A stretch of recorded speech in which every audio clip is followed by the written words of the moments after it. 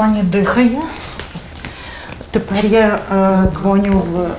Можете, будь ласка, подзвонити 0103 Данила Галицького 4 і скажете, коли передзвоните.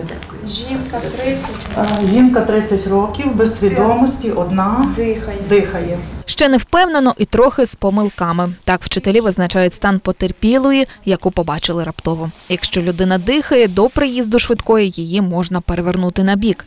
Далі кожні дві хвилини контролювати вдихи, видихи. Якщо ж дихання немає, потрібно провести серцево-легеневу реанімацію. Спершу розстебнути одяг, впевнитись, що у роті немає слизу чи сторонніх предметів, а далі прикласти долоні на низ середньої третини грудини, зробити 30 натисків та два вдохи. То що ви робите? Ви серце стискаєте між хребтом і грудиною і витискаєте з нього кров.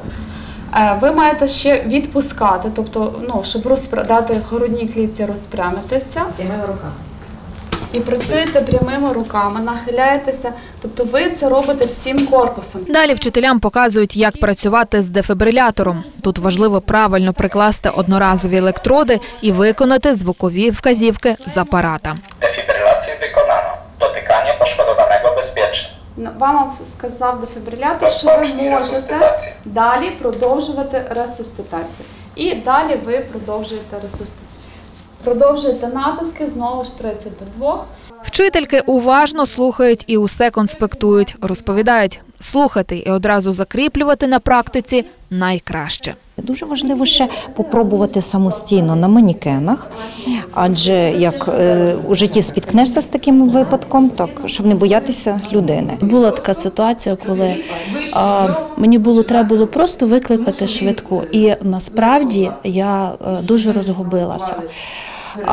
Тому е, знання це є знання, а навички дії в таких екстремальних ситуаціях це є е, зовсім різні речі. Курс першої домедичної допомоги вчителі вивчатимуть впродовж двох днів. Окрім загрозливих станів, розглянуть і побутові травми, а пізніше складуть іспит.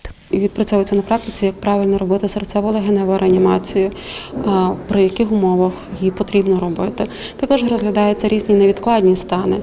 Е, До прикладу, як діяти при підозрі інсульту чи інфаркту, чи як діяти при опіках, при охолодженні. Управління освіти ініціювало такий тренінг, щоб вчителі зробили цікавішими уроки з надання першої допомоги. Працює творча група вчителів спільно із Мальтійською службою, які є нашими партнерами. Відповідно, напрацьовують методичні матеріали.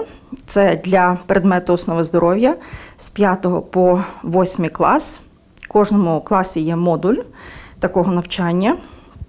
І 18 годин, які відбуватимуться у 10 класах з надання домедичної допомоги. Загалом курс навчання пройдуть понад 200 педагогів з усіх навчальних закладів Львова. Ірина Панчишин, Юрій Герасимов, Західнет новини.